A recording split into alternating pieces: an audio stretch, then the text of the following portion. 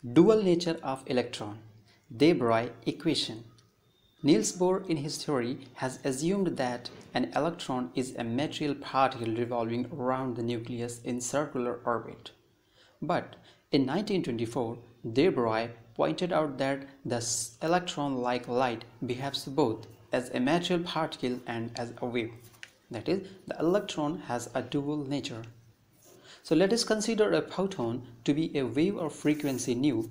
Its energy is given by Planck's equation E is equal to h nu, equation first.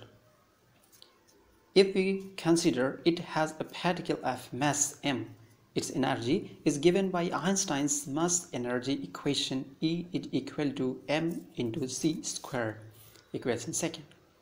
From equation first and second, we get h nu is equal to mc square.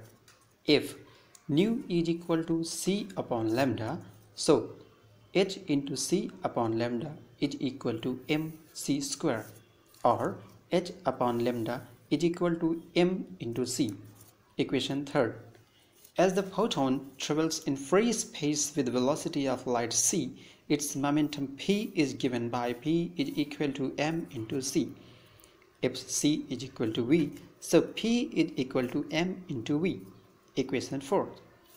Putting the value of P is equal to M into V on equation 3rd, we get H upon lambda is equal to P or lambda is equal to H upon P. This is called de Broglie equation. Thanks for watching.